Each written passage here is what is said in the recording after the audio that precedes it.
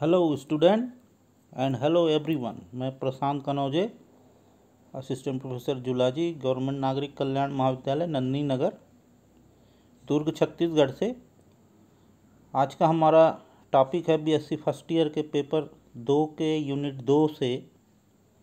Identification of poisonous snacks और ये जो टॉपिक है, काफ़ी इंटरेस्टेड टॉपिक है। आप सभी भली भांति स्नैक्स से परिचित हैं। तो आज हम इस प्रेजेंटेशन के माध्यम से स्नैक के जो जहरीले सर्प हैं, उनके बारे में जानकारी प्राप्त करेंगे, उनका आइडेंटिफिकेशन करेंगे कि कैसे पॉइज़न स्नैक होते हैं और नॉन पॉइजनस स्नैक को कैसे पहचाना जा सकता है। स्नैक जो है विशेष प्रकार के प्राणियों का एक समूह होता है, जो कि फाइलम रेप्टिलिया में पाए जाते हैं। और इनकी जो ऑर्डर है, वो ऑफिडा है। करीब तीन हज़ार लिविंग स्पीसीज स्नैक की वर्ल्ड में पाई जाती है। और और इस तीन हज़ार स्पीसीज़ में 330 स्पीसीज़ जो है इंडिया में पाई जा रही है। और इस 300 स्पीसीज़ 330 जो स्पीसीज़ है, इंडिया में पाई जाती है। और 3000 जो वर्ल्ड में पाई जाती है, उसमें से 300 स्पीसीज़ जो है वो पॉइजनस होती है करीब करीब और इंडिया में जो 330 स्पीसीज़ पाई जाती है उसमें से सिक्सटी नाइन स्पीसीज़ जो है, वो पॉइजनस है। और out of sixty nine, in sixty nine species में ट्वेंटी नाइन स्पीसीज़ जो है, वो है सी स्नैक्स ये हाईली पॉइजनस होते हैं। और जो चालीस बचते हैं, वो लैंड में पाए जाते हैं, ज़मीन में पाए जाते हैं टेरेस्ट्रियल हैबिट वाले स्नैक्स हैं। ये जो स्नैक्स हैं, ये पॉइजनस होते हैं। तो कुल मिला के मात्र लगभग चालीस स्पीसीज़ ही है जो जहरीली है। और हम लोग देखकर, सांप को देखकर सभी लोग समझ जाते हैं कि ये जहर वाला होगा, जहरीला है। काफ़ी डर लगती है। बात भी सही है। भारत में ही केवल सात हज़ार से बारह हज़ार लोगों की मृत्यु जो है साल भर में स्नैक बाइट से हो जाती है। और ये देखा गया है कि स्नैक बाइट से मरने वाले अधिकांश लोग नॉन पॉइजनस स्नैक के काटने से मर जाते हैं, वो भी डर के मारे। और यह भी ज़रूरी है कि पॉइजनस स्नैक से डरना भी ज़रूरी है, परंतु उनमें से अधिकांशतः मनुष्य के लिए हानि रहित तो सांप होते हैं। जो मनुष्य को लाभ भी पहुंचाते हैं। दुर्भाग्यवश सर्पों के प्रति हमारा अधिकतर डर मात्र अज्ञान और निराधार अंधविश्वासों पर आधारित है। अतः विषैले और विषहीन सर्पों की पहचान करना अति आवश्यक है। लोगों को इनकी पहचान के बारे में ठीक से ज्ञान हो तो केवल भय के मारे मरने वालों की संख्या कम की जा सकती है। तो आज हम इस चैप्टर में पॉइजनस स्नैक्स के बारे में जानकारी प्राप्त करेंगे।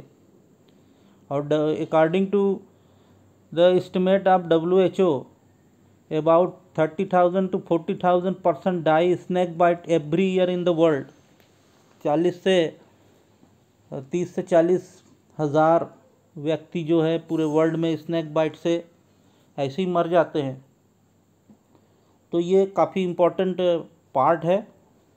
और आप लोगों को इसके बारे में जानकारी हासिल करना बहुत ज़रूरी है।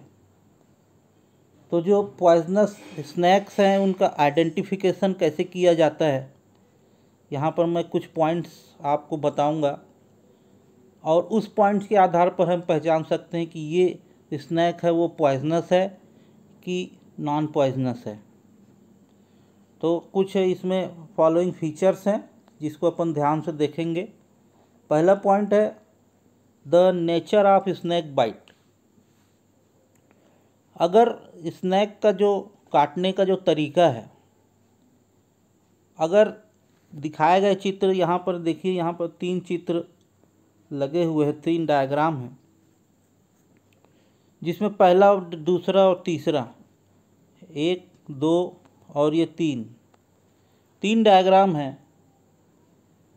यदि किसी व्यक्ति को कोई स्नैक बाइट करता है तो ये तीन प्रकार के मार्क लगभग बनते हैं। तीन प्रकार की ये रचनाएँ उसके शरीर में दिखाई देती हैं, जिससे हम ये प्रूफ कर सकते हैं कि ये जो सर्प काटा है, जो स्नैक काटा है, वो पॉइजनस वाला है कि नॉन पॉइजनस वाला है।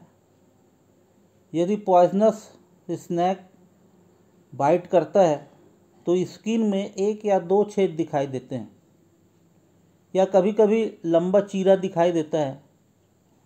यदि त्वचा पर उपरोक्त मार्क दिखाई दे तो वो पॉइजनस स्नैक का बाइट होता है। अब यहाँ पर देखिए, ये एक पॉइजनस स्नैक का बाइट है। ये एक पॉइजनस स्नैक का बाइट है। यहाँ पर ये दोनों तरफ़ दो स्पॉट अलग से दिखाई दे रहे हैं। इसका मतलब ये कि उस पॉइजनस स्नैक में दो फंग थे, दो जहरीले दांत थे, जिसका वो निशान है।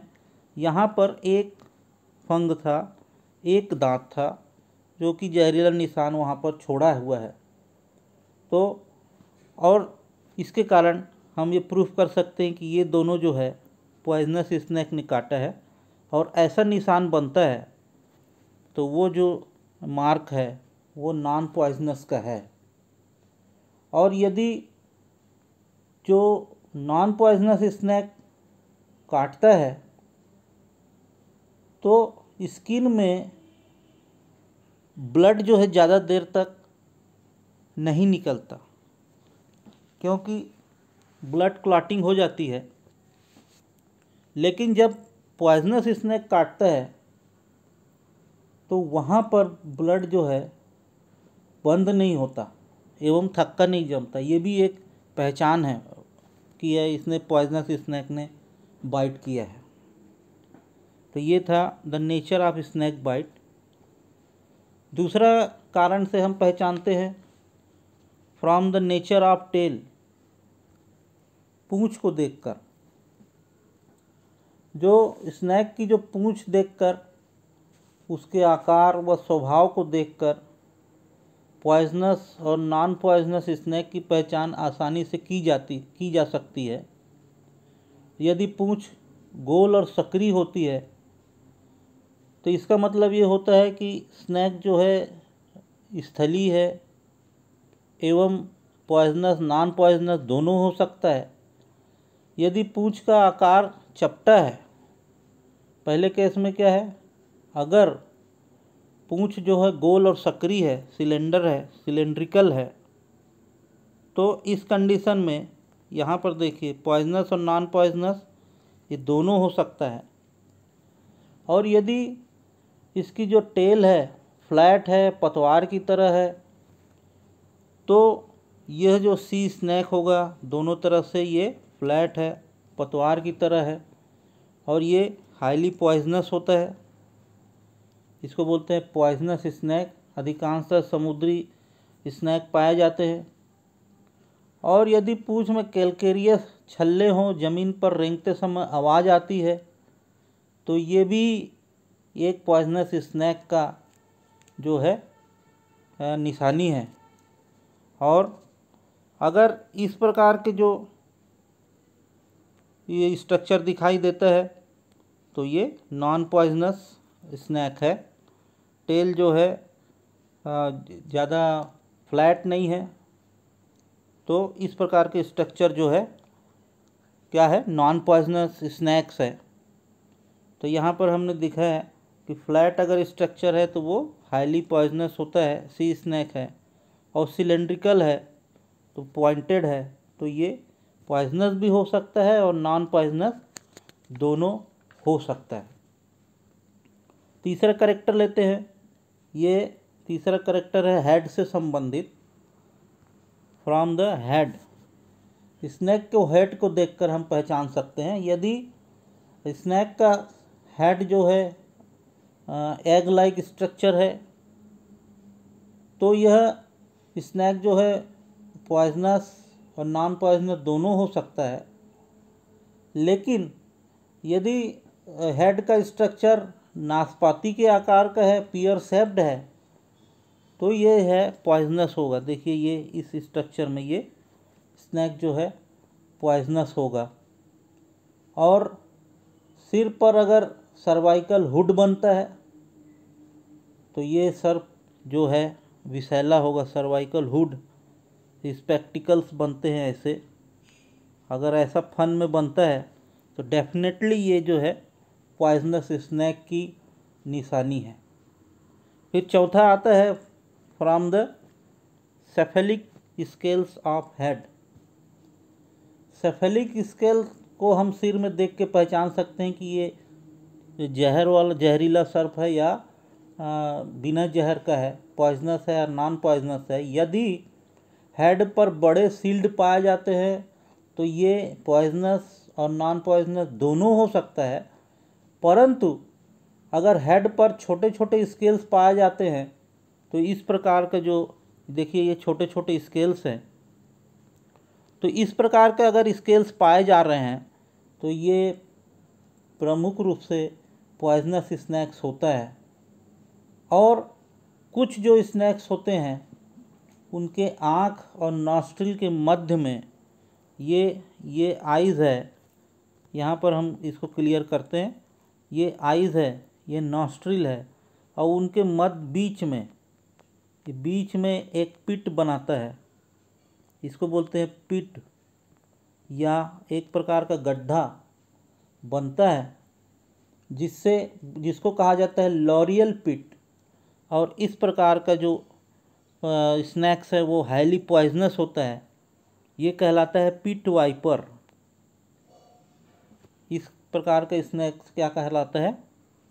पिट वाइपर उसके बाद नेक्स्ट पॉइंट अपन लेते हैं from the third supralabial scale of head ये अपन अभी हेड से ही पहचान रहे कि पॉइजनस है या non poisonous from the third supralabial ऊपर का जो ऊपर का जो जा है, ऊपर की जो जबड़ा है, उसका सुपर लेवियर इस पर पाए जाने वाले जो स्केल्स हैं उसको बोलते हैं सुपर लेबियल स्केल्स यहाँ पर देखो अपर लेब अपर जाज है ये।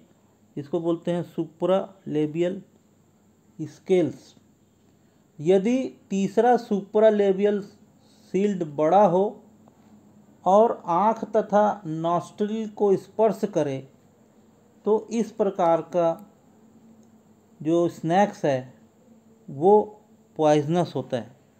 देखो, तीसरा पहला, ये पहला है, ये दूसरा है, ये फ़र्स्ट है, ये सेकंड है। लेकिन ये जो तीसरा है, ये तीसरा जो स्केल्स है, किसको टच कर रहा है? नॉस्ट्रिल और आइस को। ये नेज़ल है, ये आइज़ है, इसको टच कर रहा है बड़ा होकर। तो ऐसा जो है डेफिनेट रूप से पॉइजनस स्नैक होता है और उनके फन में ये इस प्रकार के स्पेक्टिकल स्ट्रक्चर बनता है। यह जो स्पेक्टिकल स्ट्रक्चर है, ये हुड बना रहा है, फन बना रहा है और ये पक्का पॉइजनस होता है। ये कोबरा की निशानी है।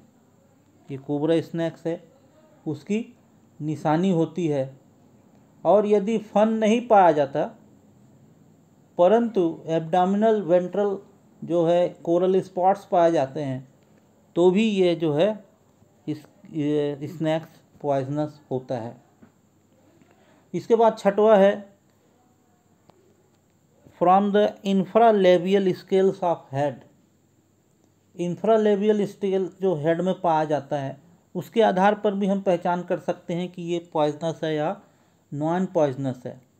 यहाँ पर नीचे जो, निचला जो लोअर जा होता है वहाँ पर इंफ्रालेबियल तथा इस पर पाए जाने वाले स्कल्स लेबियल्स कहलाते हैं।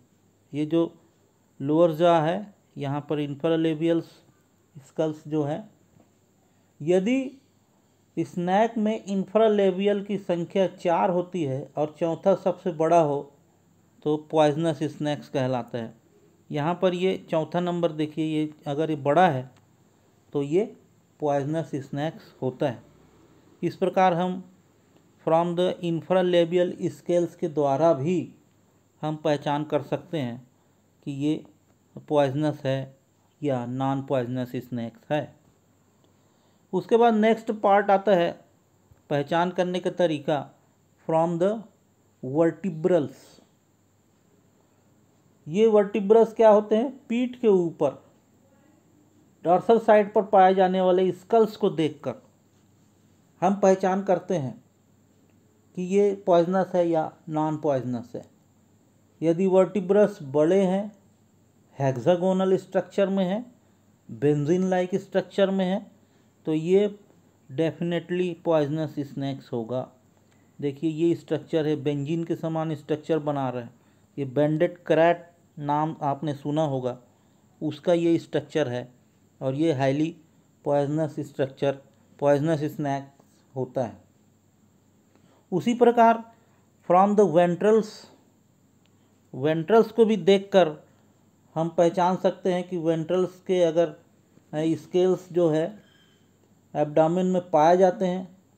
यदि वेंट्रल्स छोटे या बड़े हों तथा लेटरल व डार्सल से यूनिफॉर्मसली लगातार मिले हों तो स्नैक जो है नॉन पॉइजनस होता है। लेकिन जिस प्रकार आप डायग्राम में देख रहे हैं, यदि वेंट्रल्स लंबे हो एब्डामिनल भाग को क्रॉस करते हुए पूरे ऊपर कोने तक फैलते हों तो इसमें ज़्यादा संभावना पॉइजनस की होती है नॉन पॉइजनस भी हो सकता है। देखिए, पूरा वेंट्रल जो है, ऐसा लंबा है और ऊपर तक कवर करता है। तो ये वेंट्रल के स्केल्स को भी देखकर हम पहचान सकते हैं। कि ये स्नैक्स पॉइजनस है या नॉन पॉइजनस है। तो इस प्रकार हम कुल आठ तरीके से इस स्नैक को पहचानने का तरीका है कि कौन सा जहरीला है और कौन सा बिना जहर वाला स्नैक्स है, जो कि जानकारी के लिए बहुत इंपॉर्टेंट है। और आज हमने आज इस प्रेजेंटेशन के माध्यम से पॉइजनस स्नैक के आइडेंटिफिकेशन को देखा। Thank you thank you very much.